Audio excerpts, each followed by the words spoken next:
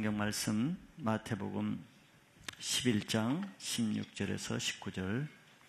이 세대를 무엇으로 비유할까? 비유하건대 아이들이 장태에 앉아 제 동물을 불러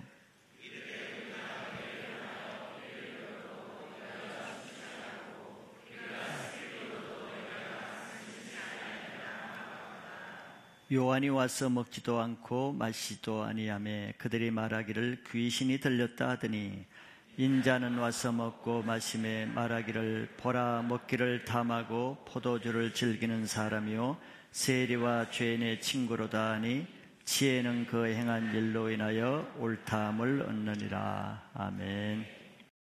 마태복음으로 돌아가서 오늘은 어, 예수님이 하신 말씀을 통해서 반응이 없는 세대에 대해서 말씀을 보겠습니다. 사람이 정상적으로 건강하다는 여부는 어떤 사건에 대해서 그 사람의 반응을 보면 알 수가 있죠. 예를 들어서 우리 신체가 건강하다고 하면은 어떤 작은 망치로 무릎을 치거나 뜨거운 것을 피부에 대면은 즉각적인 반응을 하죠. 예, 그것이 어, 내 신체가 정상적이라는 것을 나타내기도 합니다. 정상, 정신적인 건강도 마찬가지죠. 예, 옳은 것을 보면은 옳은 것으로 반응하고 또 나쁜 것을 볼 때는 어 저것은 나쁜 것이라고 반응하면은 그 사람의 정신 건강이 건강하다는 증거겠죠. 그래서 정상적이고 건강한 사람은 기쁠 때는 저절로 웃음이 나오고 또 슬플 때는 저절로 눈에서 눈물이 나오는 것이 정상적인 반응입니다. 이와 같이 영적으로도 마찬가지겠죠. 영적으로도 은혜의 말씀을 들을 때 정상적인 사람은 기쁨으로 은혜롭게 그 말씀을 받을 것이고 회개에 대한 죄 책망의 말씀을 들을 때는 가슴을 치며 눈물로 회개하는 반응을 나타낸다 그러면은 그 사람 영적으로 아주 건강한 사람이라는 것을 나타냅니다. 그런데 그렇지 않고 은혜로운 말씀이 들리는데 그 사람의 마음이 오히려 불편하고 또 회개의 말씀이 들리는데 회개하기보다는 오히려 더 마음이 굳어지는 반응이 보인다 그러면은 좀 영적으로는 문제가 있는 사람이라고 할 수 있습니다. 또 심각한 죄에 대한 심판의 메시지를 듣는데도 아무리 무덤덤하게 들린다든가 용서의 복음을 전해도 마음의 한쪽에서는 오히려 더 용서하기 싫은 마음이 생긴다든가 이런 것은 다 정상적인 상태는 아니죠.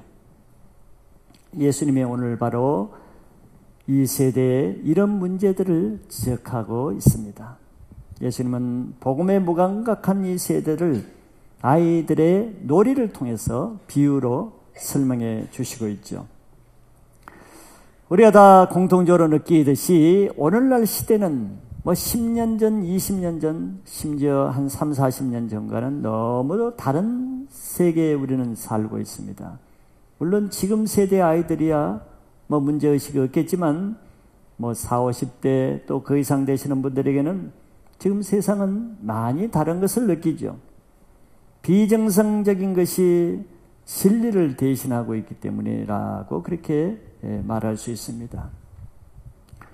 그러므로 지금은 교회가 이 세상에 하나님의 진리를 정말 회복하는 아주 절박한 사명을 감당해야 될 때가 지금이라고 생각이 되죠.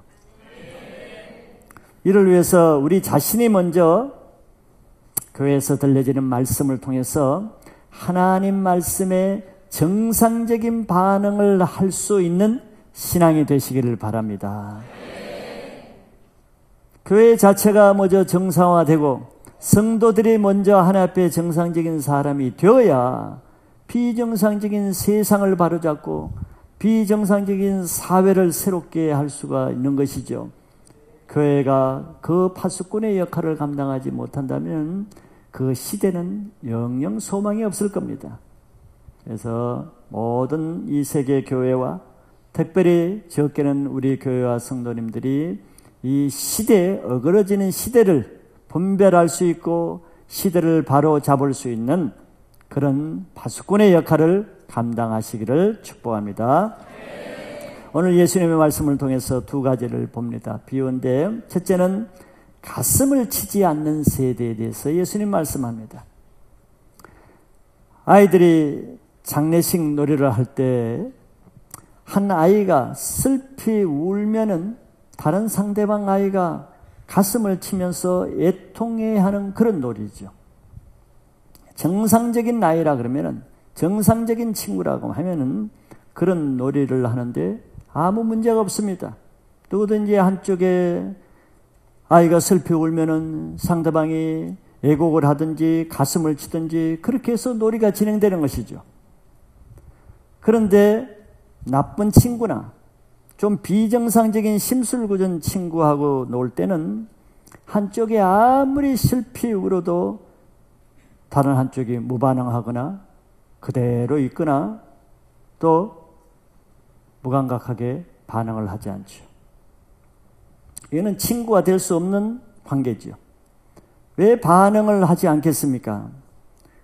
그 사람의 마음 속에는 다른 마음을 품고 있기 때문에 반응을 하지 않는 것이죠. 영적인 관계도 마찬가지입니다. 마음이 완고한 사람은 아무리 죄에 대한 메시지를 전해도 반응이 없죠. 무감각합니다. 회개하지도 않고 가슴을 치지도 않고 마음이 찔리지도 않고 아무 반응이 없어요. 가만히 있는 거예요. 왜 그랬겠습니까? 그 사람 속에는 그 말씀을 대적하는 다른 악한 마음을 품고 있기 때문에 그런 반응으로 나타나는 것이죠. 찬양을 할 때도 딴 사람들은 눈물을 흘리면서 손을 들고 간절히 찬양을 하는데 어떤 사람 나무 토막자는 가만히 이렇게 그 사람 볼 때, 어이, 무서워요, 무서워요. 말씀을 전할 때도 말씀을 잘 듣는 사람이 있는가 보면 그러지 않고 그냥 시커덕하게 있는 사람 보면은 왜 그랬겠습니까? 그 사람 속에는 딴 마음을 품고 있기 때문에 그런 자세로 나오는 것이죠. 예수님 지금 그걸 말씀하시는 거예요.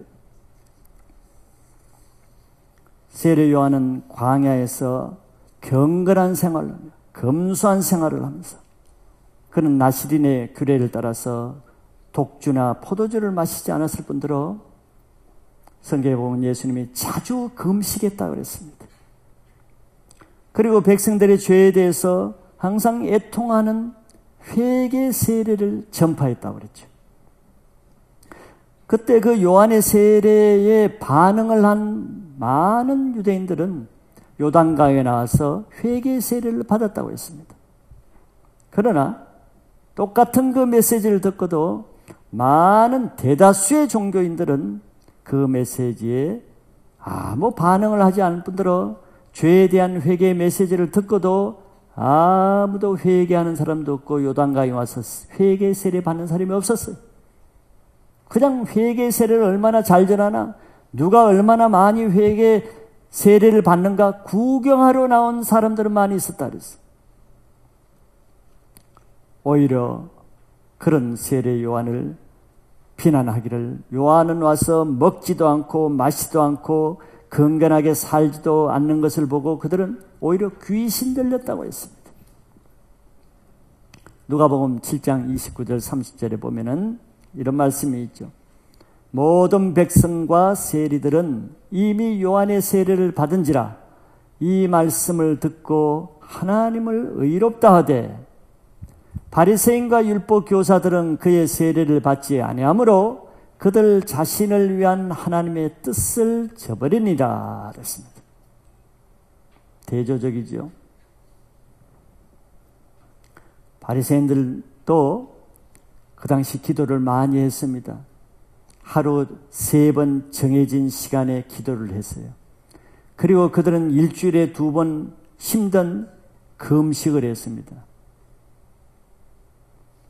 예수님은 너희들의 의가 서기관과 바리새만 못하면은 결단코 천국에 가지 못한다고 했는데 여러분들 하루 세 번 정해놓고 기도하는 사람 얼마나 있습니까? 일주일에 두 번씩 금식하는 사람 얼마나 있어요? 바리새인들은 이렇게 열심으로 하나님을 섬기는 사람이에요. 그러나 그들은 이렇게 세 번씩이나 기도하고 일주일에 두 번 힘든 금식까지 하면서도 그렇게 기도를 많이 하고 금식도 많이 하는데 문제는 그들은 자기 자신의 죄를 회개하는 것은 전혀 없었어요. 놀라운 일이죠. 놀라운 일인 것이 금식까지 해가면서 기도 생활하고 경건 생활하는데 자기 죄를 회개하는 것은 없었어. 단지 그들은 그 거룩한 경건 자체를 중요시했어요. 그것이 자기 의가 되기 때문에 한 것이죠. 회개할 목적으로 금식하는 것은 아닙니다.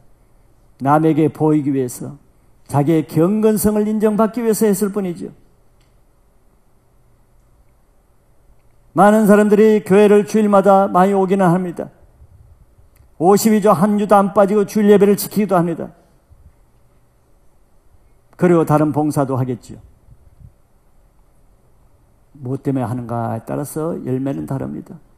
아내가 가져, 가자고 하니까 할 수 없이 와서 앉아있는 사람도 있고, 친구 때문에 할 수 없이 앉아있는 사람도 있고, 앉아있기는 하나, 아무 변화가 없는 사람이 있죠.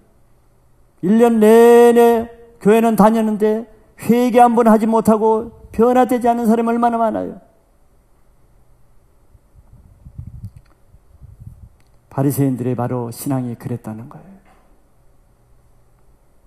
그들은 아무 회개 없는 자기들의 금식과 기도는 굉장히 중요시하면서도 요한이 하는 회개의 금식과 요한이 하는 그 회개의 역사는 뭐라 그럽니까? 귀신 들렸다고 비난했어.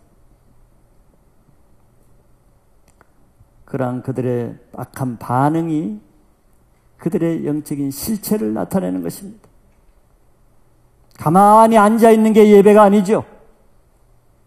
아무 변화도 없는 그런 예배를 1년 12년 드리는 것이 신앙이 아닌 것입니다. 이 시대도 아무리 죄에 대해서 회개 메시지를 전해도 지옥의 심판을 전해도 끔찍하지 않는 반응이 없는 세대라고 할 수 있죠. 그래서 많은 교회들은 구원, 십자가, 지옥, 천국, 회개 메시지를 많이 안전한다고 그러죠.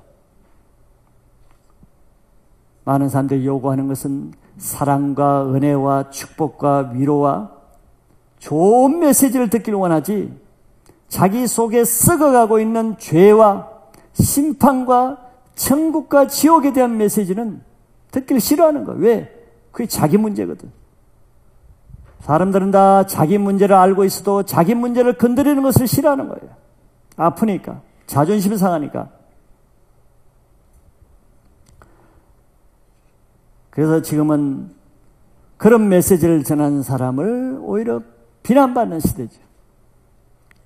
세례 요한은 그 당시에 그들의 아주 정확한 전곡을 찌르는 메시지를 전했는데 그것이 주로 바리새인과 서기관들의 문제인데 그들은 자기 문제이기 때문에 그 말씀에 귀를 닫는 것입니다.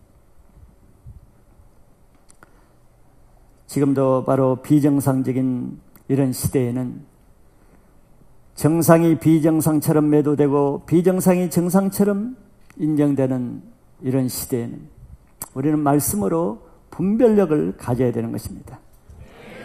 왜냐하면 사단이 이미 하나님의 가치 체계를 다 파괴하고 있어요. 하나님의 창조 질서를 파괴하고 권위를 파괴하고 절대 진리의 가치 체계를 거짓으로 파괴하고 있기 때문에 우리 그것을 분별하지 못하면은 우리는 그 시대의 희생자가 되기 쉽죠. 그러나 우리가 알아야 될 것은 여러분들 앉아서 예배 시간에 앉아 있는 것이 예배가 아니죠. 그래서 앉아 있으니까 1년 12달 예배는 드린다 변화가 없잖아요. 하나님은 예배 때 말씀을 주실 때 그냥 말씀만 주시지는 않습니다. 듣던지 말든지 들으면 좋고 안 들으면 그 말이고 우리는 그렇게 생각하죠. 아, 오늘은 내한테 별로 안 맞는 말이다. 아, 그런 말안 듣고 다음 주에 듣지. 우리 생각이죠. 하나님은 그렇지 않습니다. 하나님은 우리에게 만월이 여김을 받지 않아요. 하나님은 각 사람에게 자신의 말씀이 선포될 때 거기에 합당한 반응을 요구하시는 거예요. 그것을 하늘에서 하나님이 비를 내릴 때 그냥 비가 내렸다가 다시 또 정발돼서 올라오고 이걸 반복하기 위해서 비를 주신다고 말씀하지 않지요. 비를 내릴 때는 반드시 그 비를 맞은 식물과 채소가 거기에 합당한 열매를 낼 목적을 가지고 비를 주신다는 겁니다. 마찬가지. 하나님이 말씀을 주실 때는 각 사람에게 그 말씀의 어떤 열매를 목적으로 하는 것이지 그냥 말씀만 주는 것이 아니라는 거예요. 그래서 우리는 이 말씀을 들을 때는 말씀에 반응해야 될 책임을 가지고 말씀을 들어야 되는 겁니다. 예배에 참석하면 참석하는 앉아 있는데 의를 두는 것은 바리새인들에게 일주일에 두 번 금식하고 하루에 세 번 기도하는 데 의미를 두는 것과 같은 거예요. 그래서 바리새인들이 뭐가 변했어요? 종교의 행위가 목적이 아니라 하나님이 나에게 하시는 일이 목적이 히브리서 6장 7절 8절에 이렇게 말씀하고 있습니다. 땅이 그 위에 자주 내리는 비를 흡수하여 밭가는 자들이 쓰기에 합당한 채소를 내면 반응을 하면은 열매를 내면은 그런 것은 하나님께 복을 받는다 그랬어요. 그럴 때 복이 된다는 거예요. 그럴 때 나에게 유익함이 있게 된다는 것이죠. 그런데 그렇지 아니하고 8절에 보면은 만일 비를 내렸는데 그 땅이 좋은 채소 열매가 아니라 가시와 은건키를 내게 되면은 버림을 당하고 저주함에 가까워 그 마지막은 불사름이 되리라 그랬어요. 반응을 악하게 하면은 열매가 악한 열매를 내면은 그 말씀이 없어지는 게 아니 그 말씀에 대해서 하나님이 카운트 계산을 하는데 버림을 당하고 저주함에 가까운 불사름의 심판이 주어진다는 거예요. 하나님께서 기도하라는 메시지가 주어지면은 기도하는 반응을 내야지 더 기도할 기간에 기도를 안 한다?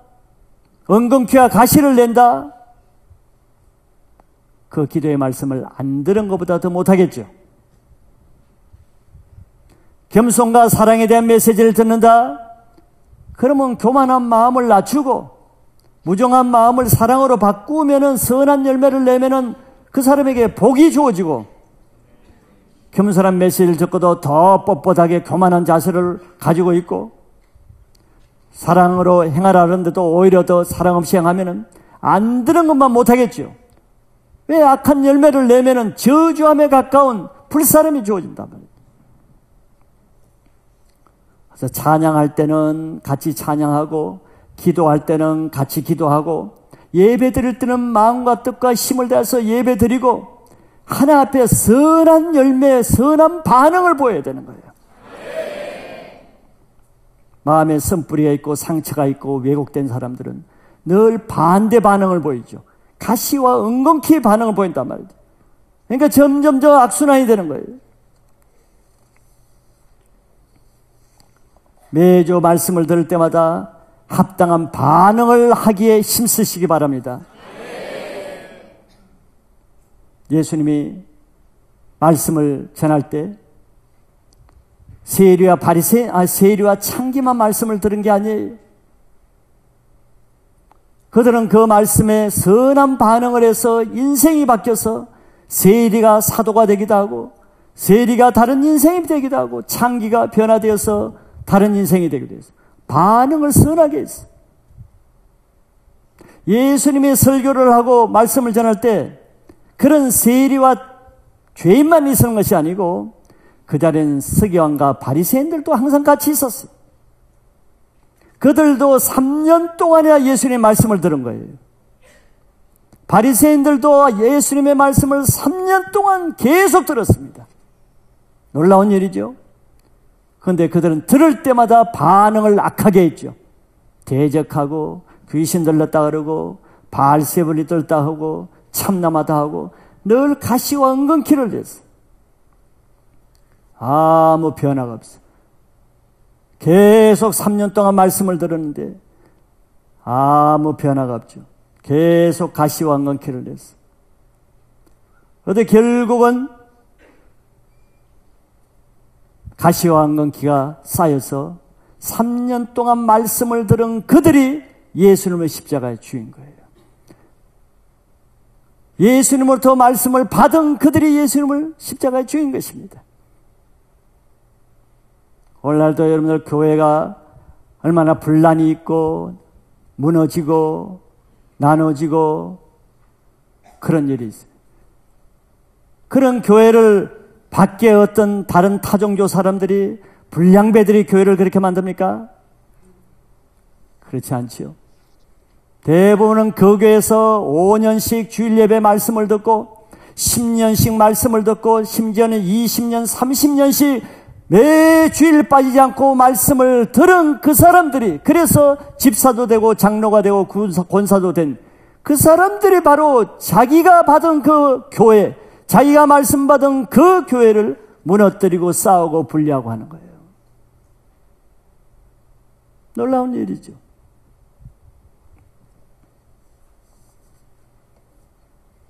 예배를 드린다고 다 좋은 열매를 맺는 게 아니란 말이죠. 말씀을 듣는다고 해서 다 선한 성도가 되는 것은 아니죠. 반응을 못하고 무반응하고 악하게 은근키와 가시에 반응을 하고 그럼 점점점 가시와 은근키가 자라서 3년 동안 예수님의 말씀을 받은 그 바리새인이 바로 예수님을 죽이듯이 그런 현상이 일어나는 거예요. 예수님은 자기 시대를 지금 그렇게 비유하는 거예요. 이 시대는 슬피 울어도 가슴을 칠지 모르는 반응이 없는 이런 시대라. 지금은 마지막 시대에 우리는 깨어 있어야 됩니다. 종교 생활에 취해서만 안 되는 거예요. 교회 자리에 앉아 있다고 해서 내가 안식일을 짓고 하나님을 믿는다고 면죄부를 받고 위로하고 자기 자신을 합리화하면 안 되는 것입니다. 변화가 있는가 그게 중요한 것이죠. 말씀을 받았으면 말씀에 대한 어떤 변화, 어떤 열매를 맺는가. 말씀은 계속 받는데 속에서는 악하고 강한 가시와 은근키가 나오는가? 아니면 선한 열매가 나오는가? 그것을 분별하셔야 되는 거예요. 바리새인들은 예수님의 말씀을 들으면 들을수록 마음이 더 강팍해졌어. 더 교만해졌어. 더 대적하고 불순종해졌어. 무서운 사람들입니다. 반응이 없는 세대. 무슨 말씀을 전해도 반응이 없는 세대. 지금 시대가 그런 시대다 그러면 우리는 깨어 있어야 되는 거예요.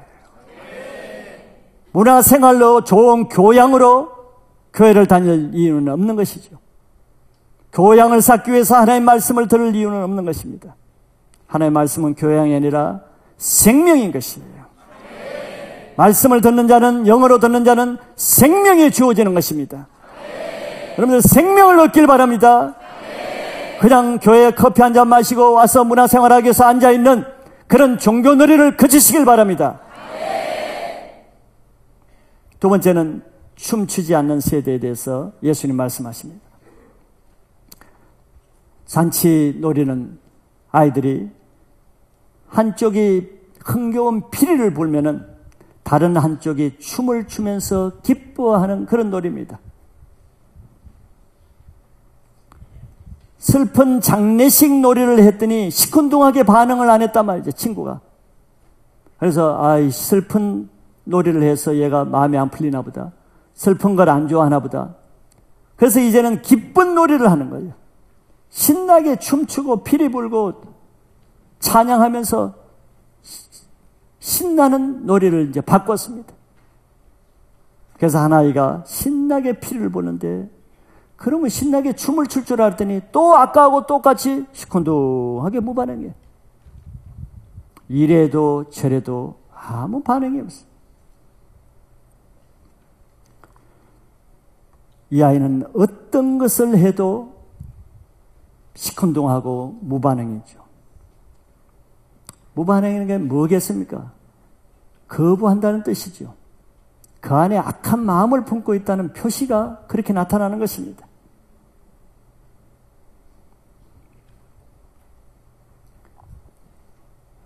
예수님께서는 이 비유를 하는 이유가 있죠.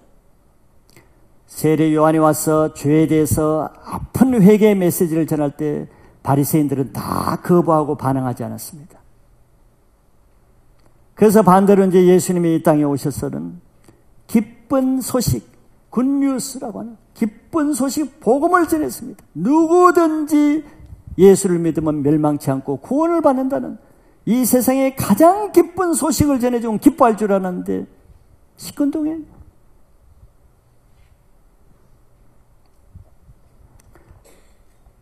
예수님은 자주 금식하면서 죄를 책망하고 회개 메시지를 전하는 세례 요한과 대조적으로 예수님이 이 땅에 오셔서 늘 먹고 마시고 즐겁게 잔치를 했죠. 예수를 믿고 변화된 그런 세리와 죄인들과 함께 늘 잔치하면서 기뻐했습니다. 그런데 종교인들은 한 번도 그 모습을 기뻐한 적이 없어요. 그리고 그 잔치에 참여한 적이 없습니다. 세례 요한에서 요단강에서 회개의 세례를 전파하고 죄를 회개하는 그 역사적인 회개의 장소에도 그들은 동참하지 않았어요. 예수님이 오셔서 지금까지 바리새인들이 한 적도 없고 하지도 못하는 죄인들과 엄청난 즐거운 풍악을 올리며 잔치를 했는데 거기도 들어온 자가 없었어요. 아무데도 이 사람들은 끼지를 못해. 그러면서 자기가 하지 않는 일은 항상 비난하기 마련이죠. 그러니까 예수님 잔치에 참여하지 못하는 그들은 또 예수님도 비난했습니다. 먹기를 탐하고 포도주를 즐기는 사람이요 세리와 죄인의 친구라고 비난했습니다. 항상 자기가 못하는 것은 비난하는 것이 악한 자의 하나의 속성이죠.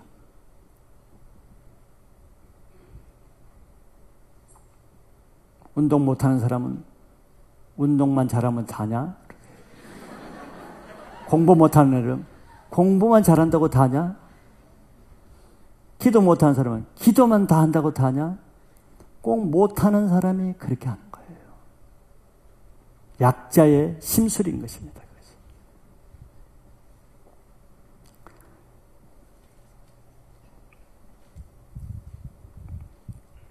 그들은 세례 요한의 슬픈 금식도 받아들이지 않을 뿐더러 예수님의 기쁜 잔치도 받아들이지 않았습니다. 그럼 무슨 뜻이겠습니까? 그들은 하나님을 위해서 살지 않을 모든 비판거리, 변명거리들을 다 가지고 있다는 거예요. 그들은 반대를 위해서 반대하고 비판을 위해서 비판하는 사람이지 하나님의 뜻을 따라 사는 사람들이 아니라는 거죠. 이런 사람들의 특징이 뭡니까? 마음속에 늘 불평거리가 항상 있어. 늘 그 사람의 얼굴을 보면 불만이 가득하고 화가 나 있어. 늘 분노가 가득해. 그들에게 없는 것은 칭찬과 격려와 감사가 없다는 거예요. 은혜가 없기 때문이죠.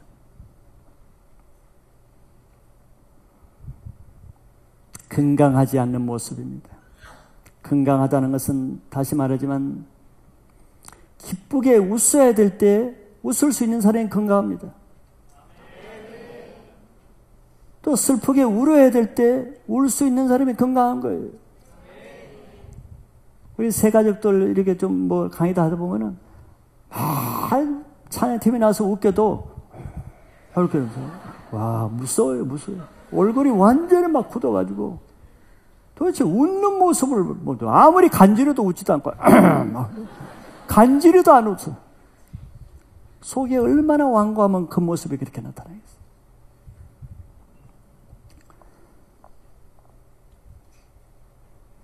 모두가 은혜로 변화되고 기뻐할 때 자기 속에 분이 나는 것은 왜 그렇겠습니까?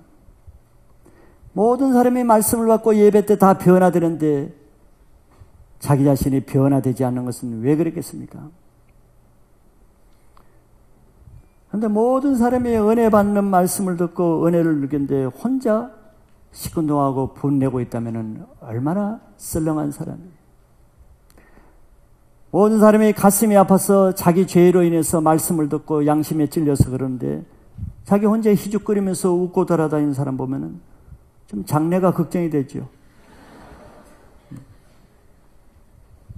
예수님 시대뿐만 아니라 어느 시대나 죄는 똑같습니다.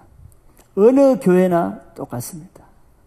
예수님이 다니시는 교회나 오늘날 교회나 교회 안에는 항상 이런 사람들이 있게 마련이에요. 복음에 다친 사람들은 무엇을 해도 거부적이고 부정적이고 비판적입니다. 네, 비판자는 사단이기 때문에 그런 거예요. 같은 아비에게서 나오기 때문에 같은 현상을 보이는 거죠. 한국 교회의 아버지라고 하는 우리 초대교회 길선주 목사님이 계셨죠. 그분은 참 평양 부흥운동을 주도하신 분입니다. 요한계시록을 감옥에서 2만 번을 읽고 다 외우셨다는 참 영적으로 충만하신 분인데 그분이 목회하는 그 장대현 교회에서도 뭐 똑같은 현상이 있었나 봐요. 그 목회자가 훌륭하고 안 훌륭하고 아무 상관없어. 그 길목사님이 교인들이 목회자에 대해서 하는 그 예화를 설교에 한 적을 내가 좀 인용을 해드리고 싶습니다. 옛날 어투로 돼가지고 요즘은 별로 뭐 재밌지도 않을 것 같은데 그러나 100년 전에는 이것이 아마 굉장히 어, 의미 있는 말씀이었던 것 같아요. 교인들은 목사가 예화 없이 성경만 가리키면은 완고하다고 하고 그래서 또 예화를 많이 사용해서 설교하면은 만담 같다고도 합니다. 어떻게 하라는 거예요, 여러분? 응? 또 목사가 신학적으로 깊은 설교를 하면은 신령치 못하고도 못하다고 하고 학설을 소개하면은 아는 체 한다고 하고 설교를 되는 대로 대충 하면은 무식하다고 말한다. 그러니까 유식하게 하면은 나는 찬다고 그러고 대충 하면은 또 무식하다고 말하고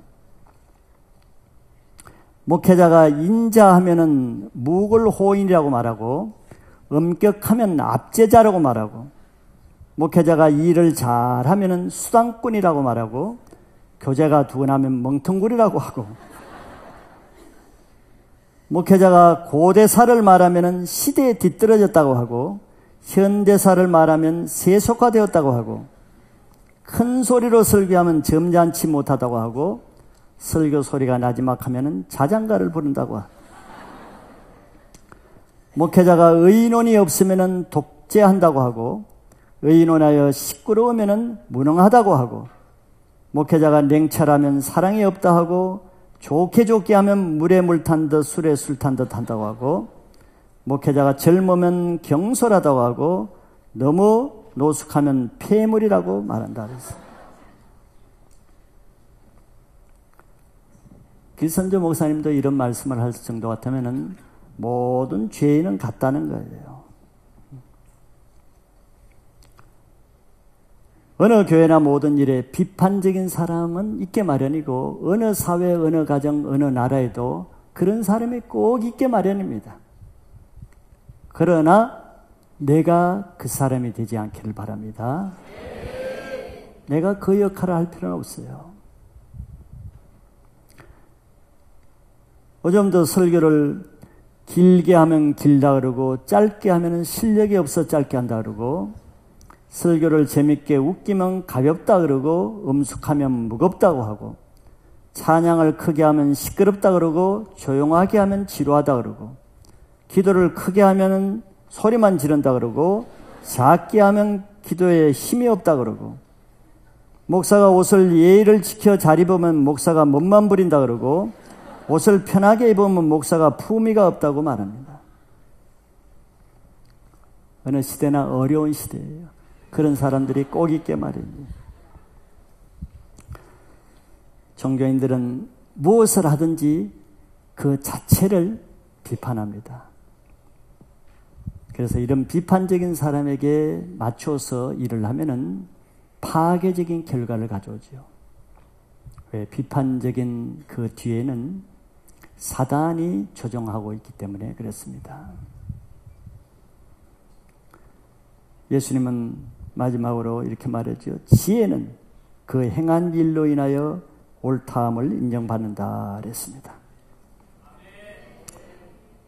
이 말은 모든 것은 그 자체 열매로 증가한다는 뜻이에요.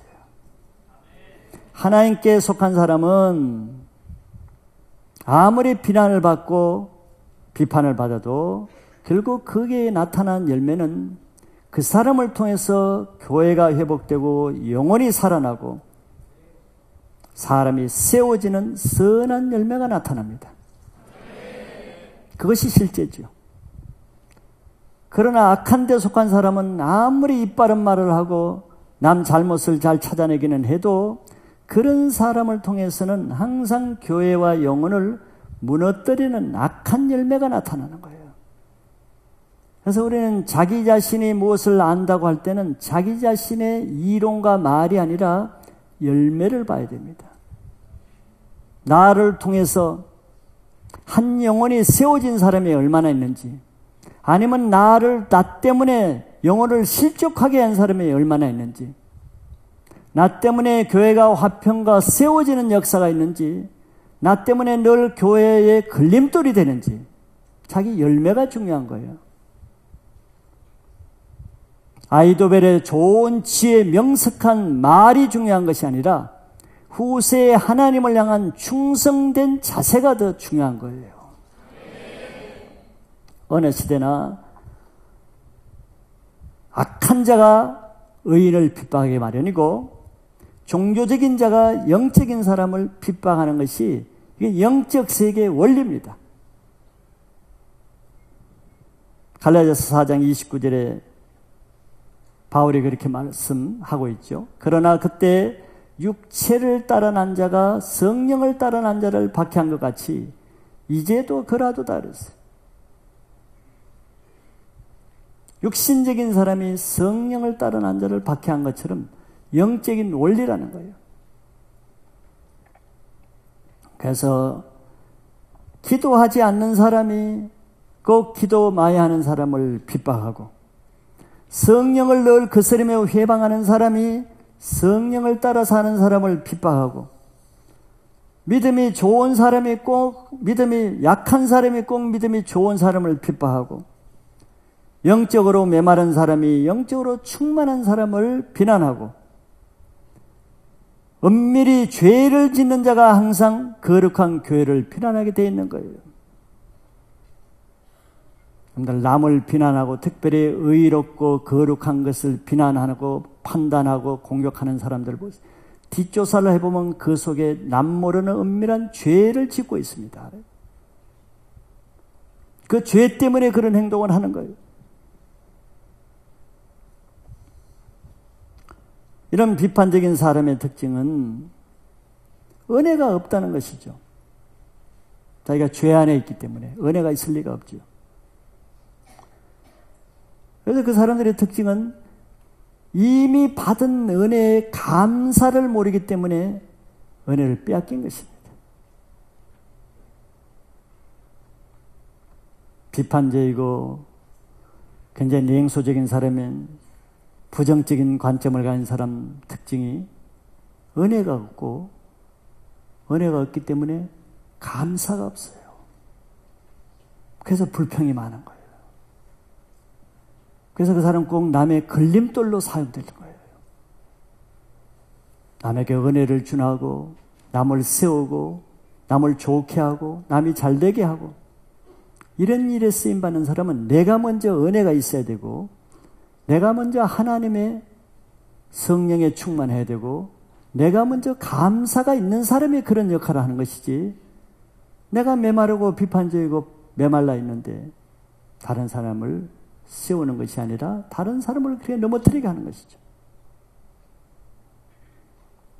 바리새인들의 한 일은 바로 다른 사람을 실족하게 하고 예수님을 넘어뜨리게 하는 역할밖에 하지 못하는 은혜와 감사가 없으면 모든 것이 부정적이 되고 불평밖에 나올 것이 없습니다. 그런 사람의 특징은 하나님이 주시는 말씀에 반응을 어떻게 합니까? 반대로 반응을 합니다.